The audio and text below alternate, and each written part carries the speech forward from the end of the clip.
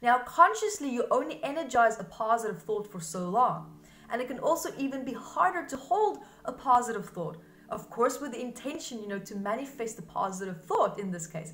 However, the more trauma and stress and negativity you have associated with a positive thought, the harder it will be to hold that thought. As the more you energize the perceived positive thought, the more it will trigger the unconscious mind to go look for associations related to this positive thought.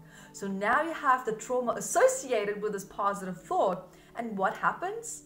You actually unconsciously energize the old negative experiences associated with the very thing that you want.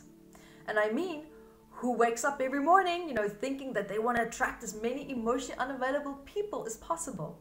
We don't do that, right? No one does that. But this also shows you who is in charge, and that is the unconscious mind.